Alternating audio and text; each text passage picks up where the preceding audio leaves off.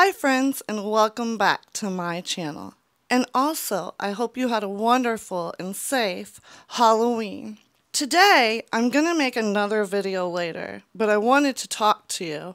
And I wanted to talk to you because we're going to the polls in some states and voting on this topic in a few days. So, the topic I want to talk to you about today is very contentious, and that topic is abortion. I'll tell you a story first. When I was very young, only 15, I found out that I was pregnant. And I knew right when I found out that I was going to keep my baby. And I did.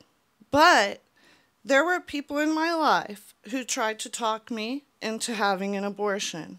One of those people was my birth mother. My birth mother had me, but then she didn't raise me.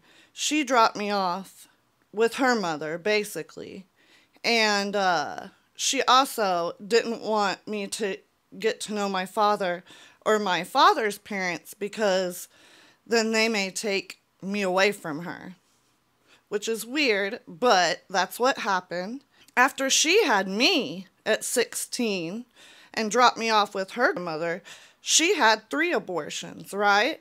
So, you know, that makes you wonder how I'm going to feel about it. I felt like a lot of the times when she would say things to me that uh, she made me feel like, you know, she wishes I would have been an abortion as well. So that did shape my views as I when I was younger about it. And I did not have an abortion at 15. I had my son. Today, he is a 28 year old man and he's very successful. I love him very much, and I'm very glad that I chose not to have an abortion. Me as a person, I would not choose that for myself. I, not unless my life was in danger. And I've talked to people and I, you know, I've said even if I were raped, I don't think I would. Okay? But I can't make that decision for any other woman. These are healthcare decisions. And I think people really lose sight of that. I, uh, birth control is also, it's healthcare. I would not stop bleeding, right? So they used a birth control, Depo-Provera, off label, and would give me a shot every two months until my bleeding was controlled. That was a healthcare decision, you know? So what if politicians, religious organizations decided at that time, you know, to be attacking birth control.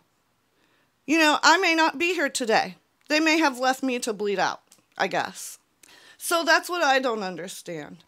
You know, uh, why is why are we allowing politicians and a religion into my doctor's office?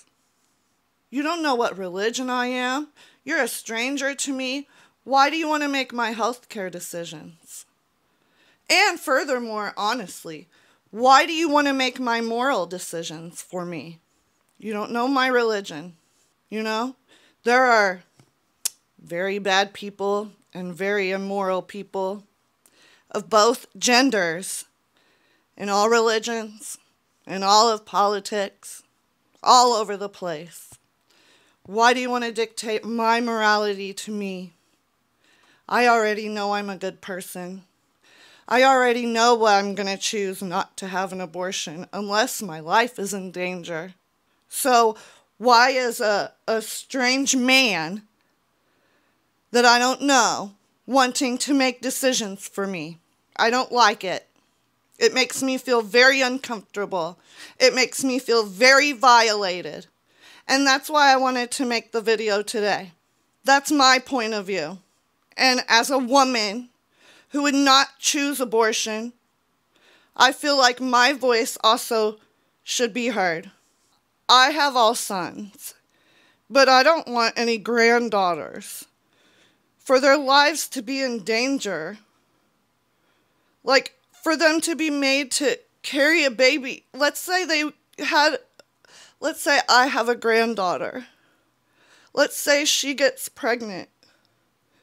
Let's say that she wants this baby so much, and I want this great grandbaby so much. But the baby passes in the womb, unfortunately. This is happening right now where women are being made to carry those babies to term, putting their lives in risk, putting them at risk of sepsis and so many other things. It's not right. That's not right morally. Well, you know, that's all I think I have to say about it. Please, please think of the women that wanted these babies that have to make this really hard decision just to save their own lives so that they can take care of the children that they have already. You know, think about them if you're going to make this an emotional decision rather than leave the decision up to the woman herself and her doctor.